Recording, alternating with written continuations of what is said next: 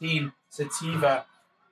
They're going to come back this way now to uh, Lindenwood through the hands of Morgan Freeman. Now finds in the number three Penina. She's going to take the ball. For team Sativa.